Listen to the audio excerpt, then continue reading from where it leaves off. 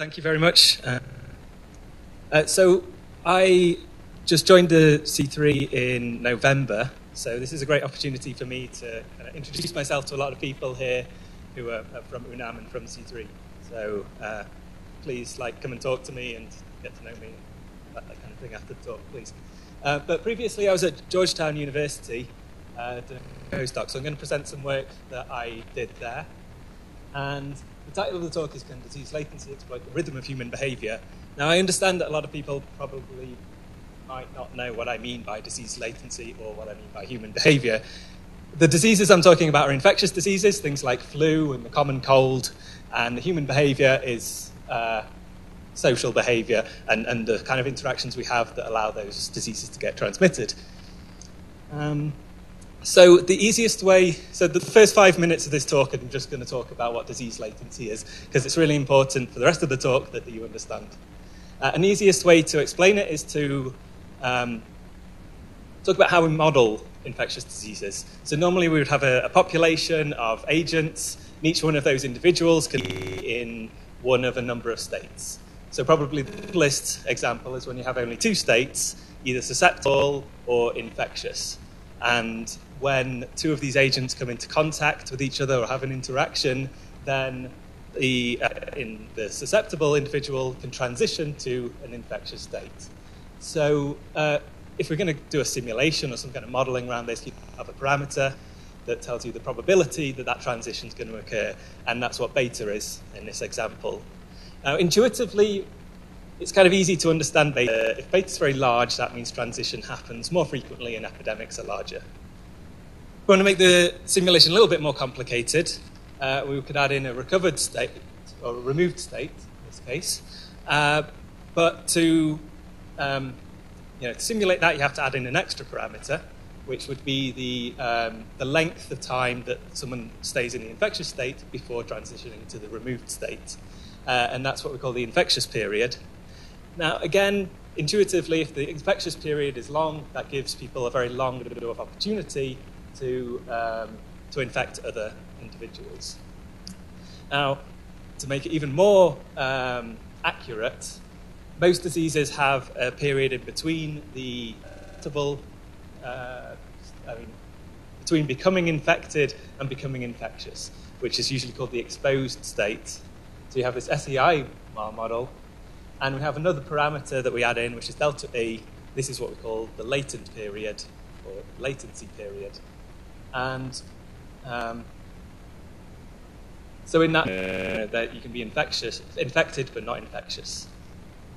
Um, so the thing is about this one, whereas with beta and with delta I, it was quite intuitive what their effect would be on the outcome of the epidemic. You know, large out, larger epidemics happen when there's a long infectious period and large high value of the transmissibility.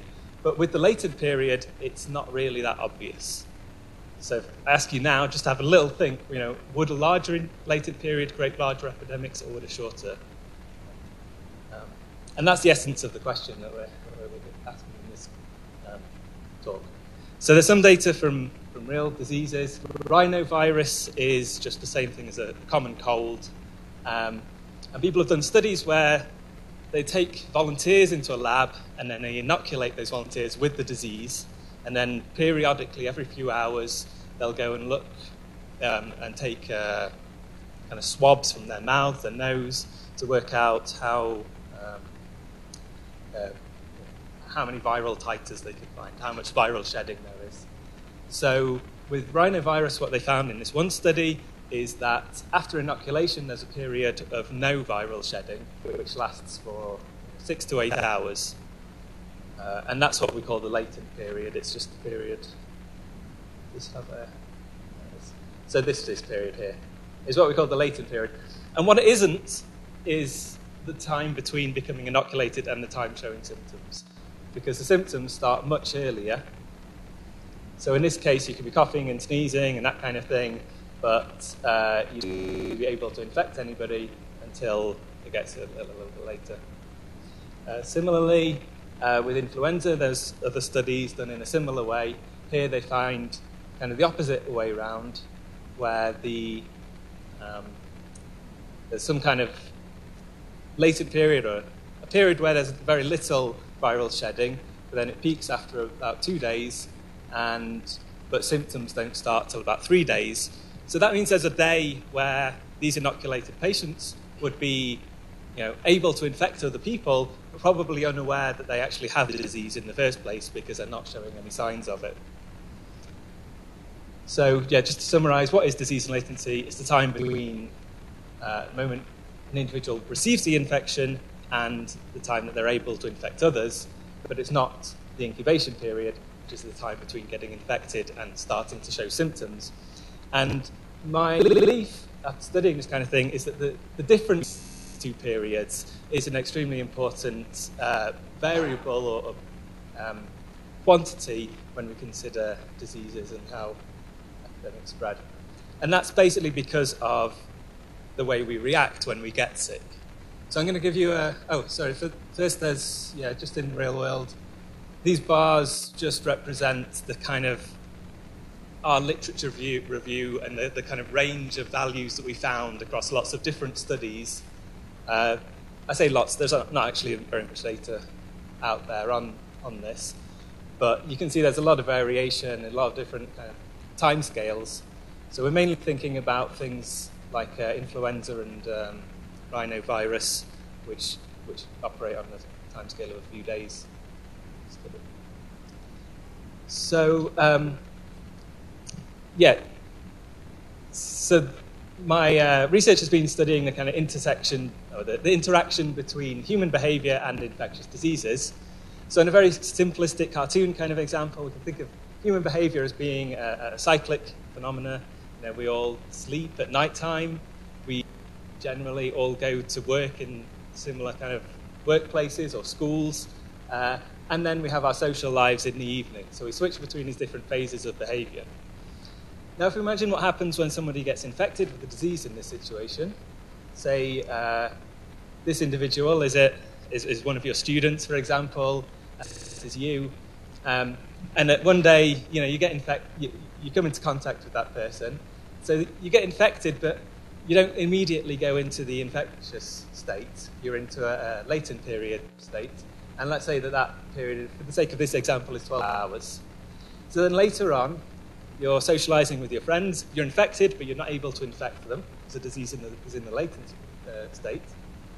Then it's later on, 12 hours after you got infected, you're in bed, that's when the infection kicks in, and you start coughing, you start sneezing, and you say, Well, I'm sick, so I'm not going to go, go to work. So the following day, you, you're not here, you're not able to infect anyone. You're not here, so you're not able to infect anyone. So that's the end of that uh, branch of the tree of of infection. So if we assume, on the other hand, that the infection period is 24 hours, again, you get infected at work by the same student, and uh, later on, you know, you're still in that latent state.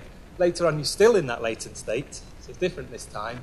And then it's 24 hours later when you're um, back in the same situation you were the previous day, that's when you become infectious and then you're able, uh, you're able to infect other people, so the infection is able to continue. So this is the conceptual example of how I think uh, disease latency can exploit the rhythm of human behavior. Different latent periods uh, create different uh, effects for the disease, different epidemic sizes. So uh, really, yeah, we've got the dynamics of human behavior, the dynamics of, of the disease, and the question is, are these able to synchronize? Each other. Um, so the way I'm going to test this uh, is firstly by using some, some data that's previously been collected. Sociopatterns.org has got all these awesome data sets. They're all collected in a very similar way. So they went into situations like a conference, for example, and gave every participant something to wear around their neck, which is um, a sort of transmitter that can transmit and receive signals.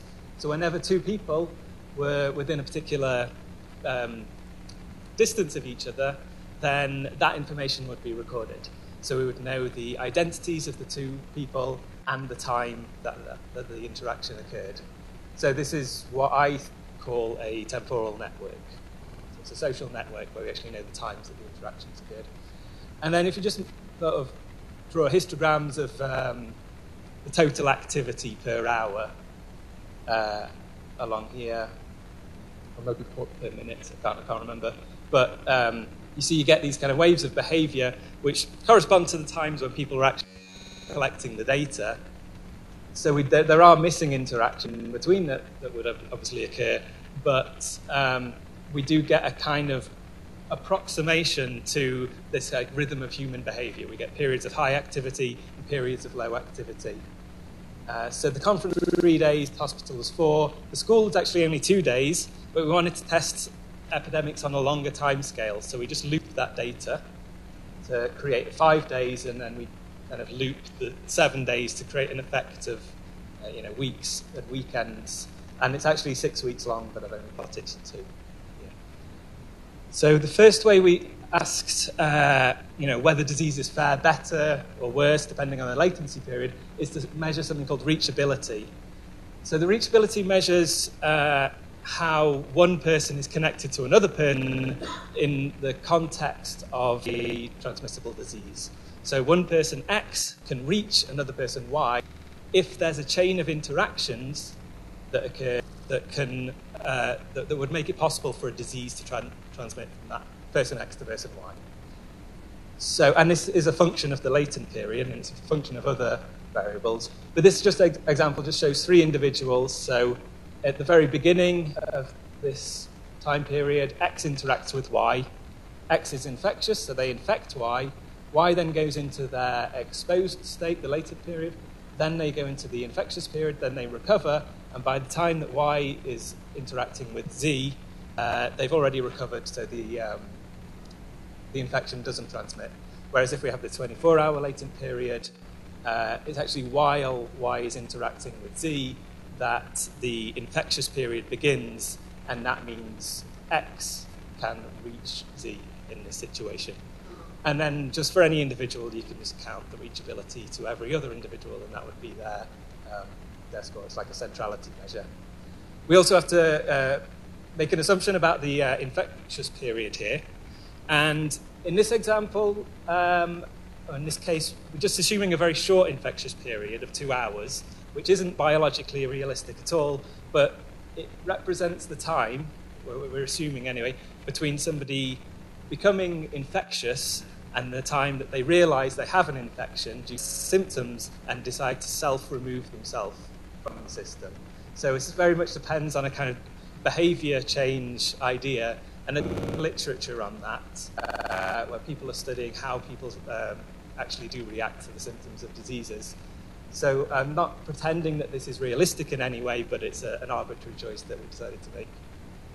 Uh, so here are the results from measuring reachability. Again, I've just plotted the, um, the overall activity uh, along the top just as a reference. And then here's the reachability results we get for different latent periods. And like I kind of said in the example, uh, when the latent period is synchronized at, at, times like 24 hours, 48 hours, we get these peaks of uh, reachability, which would um, suggest that, that that's when largest, the largest epidemics can happen. Um, so, uh, and then the, the, so the 12 hour sort of bottom, the, the dip, that kind of represents people who are getting in, receiving an infection at the beginning of the day or, or during the day, but 12 hours later, there's no interactions for that, for that disease to transmit to any new people. Um, and the uh, dips, these, these, peaks get lower is just because of the limited time span of the data. Um, but in the, um, in the school situation where we had uh, six weeks of data, uh, we actually find that the biggest peak is at uh, seven days. So this corresponds to people who are infected on, on one day of the week, for example. If they got infected on Wednesday of week one, they can there'll be a second generation of infections on the Wednesday of week uh, two, third generation of infections on the Wednesday of week three, and, and so on. So um, this is really just a kind of con- show the concept of, of why we believe that the latent period could synchronize, but it's not really biologically realistic. So the next step was just to test uh, the sensitivity of these results. So we did some uh, disease simulations that are a lot more realistic, uh, have lots of parameters and heterogeneity and distributions in them. And a few things that I wanted to test, which I thought would uh, specifically break that synchronization pattern, are, uh, for example, people might not show symptoms, or you know, if they do have symptoms, they might not react to them. So some people, they get a cold, they're coughing and they're sneezing, but they still go into work anyway and infect other people. Uh, the length of time that people persevere with those symptoms could change. So I've said that this latent period is, is two hours, but we could have a few outlying, outlying people, people who just you know, act a little bit differently. So if we have a distribution of latent periods, that just means there's, there could be a fatter tail. And this is one sort of thing that I'm testing in the model, but I call it uh, perseverance. So this would just create a few more um, what you'd call super spreaders in the, in the situation. And um, the variance in the latent period could, uh, could be different. We don't really have any I mean, not much data about what the latent period of diseases are, and it could be different for every individual host. I think Roberto sort of mentioned something very similar to that. Um, so we don't know, so it's something to put in the simulation and just try and test all the different parameters uh, values that we can. Uh, and then finally, the, the infectious period could be longer. So like in the example with uh, flu, the symptoms didn't kick in until 24 hours after the individual started um, viral shedding. So that infectious period could um, you know, really be, be, quite a long time, um, much longer than the two hours that, that we assume. And so to test whether synchronization exists, we simulated the disease for uh, each individual 100 times with a latent period of 22 hours. So that corresponds to one of those peaks in, uh, in the epidemic um, pre- prevalence. Uh, and then we compare it to 100 outbreaks with a latent period of 10 hours, which corresponds to one of those valleys in the uh, reachability, and just you know subtract one from the other to get the difference between uh, the two, and that's what we call the effect of synchronization. And then for each of these parameters I mentioned in the previous slide, we uh, start with a baseline simula- simulation, which kind of creates where the effect of synchronization is actually quite high. And then we perturb that one parameter away from those baseline um, variables to see at what point does the uh, effect of synchronization disappear. So you can see that for, for asymptotic uh, individuals, people who don't react to the disease, you can still have quite a large number of people in there and still see that there's an advantage to having a synchronized uh, infectious uh, latent period. Uh, similarly, for the, the variance in the latent period, we get a result that there is a large range of parameters where it, where it does uh, play a role. And then for things like perseverance and the actual length of the infectious period, you actually get an increase at the beginning. And this is simply because these things boost the, the number of overall number of infections that occur, the, the overall transmissibility and the size of the epidemic. So increasing these numbers initially just creates you know, a larger epidemic, so you see larger differences between the two, but then eventually it does break when you get to, to larger parameters. So this basically means that you can have up to about a, a 15 hour um, infectious period. Uh, so that's 15 hours that somebody's infected and in the system before they self remove themselves or before the, the disease just goes away because of their immune system, and you still see that there's an advantage for a latent period to be uh, 22 hours over 10 hours. Uh, and we did this for all of the data sets uh, and got similar results for all three. So that previous one was just showing the school data. Um, so there's uh, one other thing that uh, we need to address, which is the fact that there's a lot of missing data in these data sets. So between you know, the, these times, Okay, that's fine. Yeah. Time. Uh, so there's a lot of miss- missing data, and there's not really anything we can do about that. We can't go back and you know, ask these people who they were interacting with during those times. Uh, or we would need a much better data set where people are possibly using their mobile phones or something like that to record every interaction that they had. So instead of trying to use empirical data here, we can uh, do some sort of simulation. And we have these three phases of uh, human behavior here. So this is the kind of basis for our model. And we can think of it as a multi-layered network. So in the sleep layer, you've got a very sparse network where you're very unlikely to really be interacting with anyone, but there might be some pairwise interactions there. Then you have your work layer. So you, within the network, you'll have these clusters that represent you know, your workplace, your colleagues, and then your social life, where you would expect the clusters to be, different. There might be some overlap, but it's, it's mostly a, you know, a different set of people that you're interacting with. And uh, I imagine that, that having these extra layers would actually kind of diminish the effects of our, our synchronization that we saw, because a, less of the ep- epidemics would be dying out in those hours where you're not at work or you're not at the conference or the hospital or the school, um, which would basically be this layer. So there would be more opportunities for transmission, but you might see that there's some other effects. So, for example, uh, if, the, if, if somebody comes, becomes infected here, if there's a 24 hour latent period, then they will become infectious here. So you would expect this network to really be the dominant network in determining how the, the early stages of the epidemic grow. Whereas if the infectious period is a little bit longer, you would get an effect of there being uh, sort of some transmission happening in this layer and then some more transmission, transmission happening in this layer. Uh, and I don't really entirely know what the effect is going to be.